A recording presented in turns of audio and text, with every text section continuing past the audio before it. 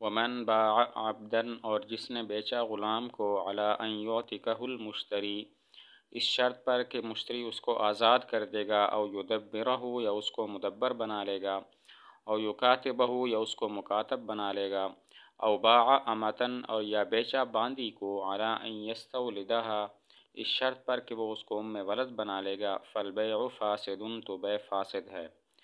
غلام اس شرط پر بیچا کہ مشتری اس کو آزاد کرے گا یا مدبر بنائے گا یا مکاتب بنائے گا یا باندی اس شرط پر بیچی کہ وہ مشتری اس کو ام ولد بنائے گا تو بے فاسد ہے۔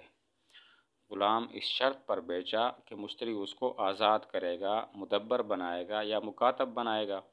باندی اس شرط کے ساتھ بیچی کہ مشتری اس کو ام ولد بنائے گا تو بے فاسد ہو جائے گی۔ وکذالک اور اسی طرح باع، اگر بیچا عبدن غلام کو، علی ان یستخدمہ البائع شہرن کہ اس سے خدمت لے گا بائع ایک مہینہ او دارن یا گھر بیچا علی ان یسکنہ البائع، اس شرط پر کہ بائع اس میں سکونت اختیار کرے گا مدتم معلومتاً ایک معلوم مدت، او علی ان یکرزہ المشتری درہمن یا اس شرط پر کہ مشتری اس کو قرضہ دے گا ایک درہم او علی ان یہدی لہو یا اس شرط پر کہ وہ اس کو ہدیہ دے گا۔ اگر غلام بیچا اس شرط کے ساتھ کہ بائے اس سے ایک مہینہ خدمت لے گا، یا گھر بیچا اس شرط کے ساتھ کہ بائے اس میں ایک عرصہ تک رہے گا، یا اس شرط کے ساتھ بے کی کہ مشتری اس کو ایک درہم قرضہ دے گا یا اس کو کچھ ہدیہ دے گا، تو بے فاسد ہو جائے گی۔ غلام بیچا اس شرط کے ساتھ کہ بائے اس سے ایک مہینہ خدمت لے گا۔ گھر بیچا، اس شرط کے ساتھ کہ بائے اس میں ایک معلوم مدت رہے گا۔ تو بے فاسد ہے یا اس شرط کے ساتھ بے کی کہ مشتری اس کو ایک درہم دے گا یا کچھ ہدیہ دے گا تو بے فاسد ہو جائے گی۔ ومن باع عینن اور جس نے کوئی شے بیچی اعلیٰ ان یسلمہا الى رأس الشہر کہ اس شرط کے ساتھ کہ وہ اس کو اس حوالے کرے گا مہینے کے شروع میں فالبیع فاسد، تو بے فاسد ہے۔ کوئی چیز بیچی اس شرط کے ساتھ کہ میں تمہیں ابھی حوالے نہیں کروں گا، بلکہ مہینے کے شروع میں حوالے کروں گا، تو بے فاسد ہو جائے گی۔ اگر کوئی شے بیچی اس شرط کے ساتھ کہ میں تمہیں ابھی یہ حوالے نہیں کرتا، مہینے کے شروع میں حوالے کروں گا، تو بے فاسد ہو جائے گی۔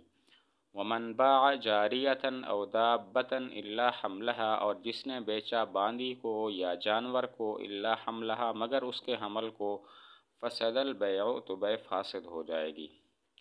باندی یا جانور اس شرط کے ساتھ بیچا باندی یا جانور بیچا اور یہ کہا جو اس کا حمل ہے وہ نہیں بیچتا تو بے فاسد ہو جائے گی۔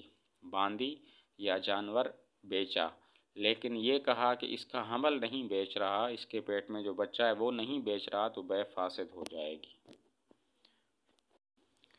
وہ منشترا صوباً اور جس نے خریدا کپڑا اعلیٰ یکتا البائع، اس شرط کے ساتھ کہ بائع اس کو کاٹ کر دے گا، اور یخیت و یخیت اور اس کو سی کر دے گا۔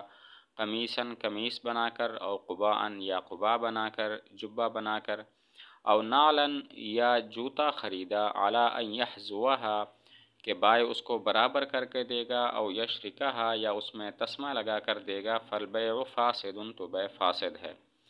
کپڑا اس شرط کے ساتھ خریدا کہ بائے اس کو کاٹ کر اور سی کر دے گا، اور اس کو قمیص یا کبا بنا کر دے گا، تو بے فاسد ہو جائے گی۔ جوتا اس شرط کے ساتھ خریدا کہ بائے اس کو برابر کر کے دے گا، یا اس میں تسمہ لگا کر دے گا، تب بھی بے فاسد ہے۔ کپڑا اس شرط کے ساتھ خریدا کہ بائے اس کو کاٹ کر اور قمیص یا جبہ بنا کر دے گا تو یہ بے فاسد ہے۔ جوتا خریدا اس شرط کے ساتھ کہ بائے اس کو برابر کر کے دے گا یا اس میں تسمہ لگا کر دے گا تب بھی بے فاسد ہے۔ والبیع اور بے نیروز مہرجان کی مدت تک وسومن نصارہ اور عیسائیوں کے روزہ رکھنے تک و فطر الیہود اور یہود کے عید منانے تک۔ اذا لم یعرف المتبایعان ذالکا جب پائے اور مشتری اس کو نہ جانتے ہوں، فاسد فاسد ہے۔ بے کی بے کی اور یہ کہا، سمن کی ادائیگی اس وقت ہوگی یا مبی کی حوالگی اس وقت ہوگی جب نیروز مہرجان ہوگا یا نصارہ روزے رکھنا شروع کریں گے یا یہود افطار کرنا شروع کریں گے، عید منائیں گے۔ تو اگر بائع اور مشتری کو پتہ نہ ہو کہ یہ کچ یہ چیزیں کب ہوتی ہیں، کب ہوتا ہے نیروز اور کب ہوتا ہے مہرجان وغیرہ، تو اب یہ بے فاسد ہو جائے گی۔ لیکن اگر ان کو پتہ ہو ان دنوں کا نیروز کا دن کون سا ہے مہرجان کا کون سا ہے، یا اور نصارہ روزے کب رکھتے ہیں، یہود عید کب مناتے ہیں، تب یہ بے جائز ہو جائے گی۔ بے ہوئی اور یہ طے ہوا کہ مبی کی حوالگی یا سمن کی سپردگی تب ہوگی جب نیروز مہرجان ہوگا یا عیسائی روزہ رکھنا شروع کریں گے یا یہود افطار کریں گے۔ تو اگر بائع اور مشتری کو ان مدتوں کا پتہ نہ ہو کہ یہ چیزیں کب واقع ہوتی ہیں، تب یہ بے ناجائز ہے، فاسد ہے۔ اگر پتہ ہو تو پھر ٹھیک ہے۔ ولا يجوز البیع اور جائز نہیں ہے بے الحصاد۔ کٹائی تک ودیا سے اور گہائی تک والقطاف اور انگور کے چننے تک، وقدوم الحاج اور حاجیوں کے آنے تک۔ فَإِن تَرَاضَيَا بِإِسْقَاطِ الْأَجَلِ، اگر وہ راضی ہو گئے مدت کو ساکت کرنے پر قبل ان یاخذ الناس، قبل اس کے کہ لوگ شروع ہوں فی الحصاد، کٹائی میں ودیا سے اور گہائی میں، وقبل قدوم الحاج اور حاجیوں کے آنے سے پہلے جاز البیع، تو بے جائز ہے۔ بے ہوئی اور طے ہوا کہ پیسے تب دیے جائیں گے جب گندم کی کٹائی یا گہائی شروع ہوگی یا انگور اترنے شروع ہوں گے یا حاجی آنا شروع ہوں گے، تو بے یہ ناجائز ہے۔ اور اگر کٹائی وغیرہ شروع ہونے سے پہلے بائع اور مشتری مدت کو ساکت کر دیتے ہیں اور آپس میں جو حوالگی ہے وہ پہلے کر لیتے ہیں، تو پھر بے جائز ہو جائے گی۔ اگر بے ہوئی اور یہ طے ہوا کہ ادائیگی اس وقت ہوگی جب گندم کی کٹائی، کہائی شروع ہوگی یا انگور اترنے شروع ہوں گے یا حاجی آنا شروع ہوں گے تو بے ناجائز ہے۔ تو اگر یہ کام شروع ہونے سے پہلے بائع اور مشتری نے مدت کو ساکت کر دیا اور حوالگی ہو گئی اور تو اس وقت یہ بے جائز ہو جائے گی۔ وَإِذَا قَبَضَ الْمُشْتَرِي اور جب مشتری نے قبضہ کیا المبیع مبی پر فی المبی فی البیع الفاسد بے فاسد میں بے امر البائع، بائع کے امر کے ساتھ وفی العقد عوضان اور عقد میں دونوں عوض ہیں، کل واحد منہما مال، ان میں سے ہر ایک مال ہے، ملک المبیع تو مالک ہو جائے گا مبی کا ولزمت ہو قیمت ہو اور لازم ہوگی اس پر اس کی قیمت ولیکل واحد من المتعاقدین، اور متعاقدین میں سے ہر ایک کے لیے جائز ہوگا فسخ ہو اس کو فسخ کرنا۔ فَإِن بَاعَهُ الْمُشْتَرِي، پس اگر مشتری نے اس کو بیچ دیا، نفذ بیعہ تو اس کی بے نافذ ہو جائے گی۔ بے فاسد میں مبی پر مشتری نے بائے کے امر سے قبضہ کر لیا، اور افزین ایسے ہیں، مبی اور سمن ایسے ہیں کہ ہر ایک مال ہے۔ تو مشتری مبی کا مالک ہو جائے گا اور اس پر اس کی قیمت بازار میں رائج ریٹ لازم ہوگا، سمن لازم نہیں ہوگا۔ اور اس کے بعد بائے اور مشتری میں سے ہر ایک اس کو فسخ بھی کر سکتا ہے۔ لیکن اگر مشتری نے وہ چیز مبی جو ہے آگے بیچ دی تو اب وہ بے نافذ ہو جائے گی، اب اس کو فسخ نہیں کیا جا سکتا۔ بے فاسد میں مشتری نے مبی پر بائے کے حکم سے قبضہ کر لیا۔ اور افزین ایسے ہیں، مبی اور سمن ایسے ہیں کہ ہر ایک مال ہے تو یعنی شراب وغیرہ نہیں ہے، تو مبی کا وہ مالک ہو جائے گا اور اس پر قیمت لازم ہوگی، سمن لازم نہیں ہوگا۔ قیمت یعنی بازار میں جو ریٹ ہے وہ اس پر لازم ہوگا اور اس کے بعد بائیں اور مشتری میں سے ہر ایک اس کو فسخ بھی کر سکتا ہے۔ لیکن اگر بائیں مشتری نے آگے بیچ دی وہ چیز، تو اب وہ بے نافذ ہو جائے گی۔ ومن جمع، اور جس نے جمع کیا بین حرن و عبدن غلام، آزاد اور غلام کے درمیان، او شاطن ذکیتن و میتھتن یا ذبح شدہ بکری اور مردار بکری کو، بطل البیع فیہما، تو بے باطل ہوگی ان دونوں میں۔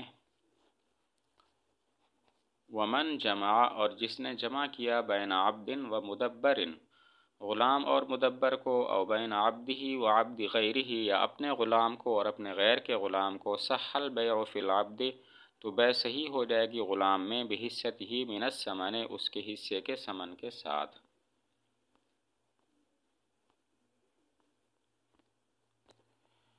اگر غلام اور آزاد کو ملا کر بے کی، یا ذبح شدہ بکری اور مردار بکری ملا کر ان دونوں کی بے کی، تو دونوں میں بے باطل ہو جائے گی۔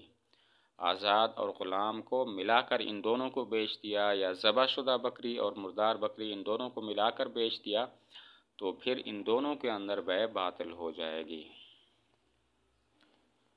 اگر اپنا غلام اور مدبر ان کو جمع کر کے آگے بیچ دیا تو غلام میں بے صحیح ہے اور مدبر میں بے صحیح نہیں ہوگی۔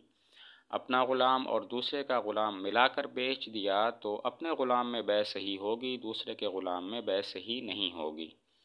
غلام اور مدبر کو ملا کر بیچا تو غلام میں بے صحیح ہوگی، مدبر میں صحیح نہیں ہوگی۔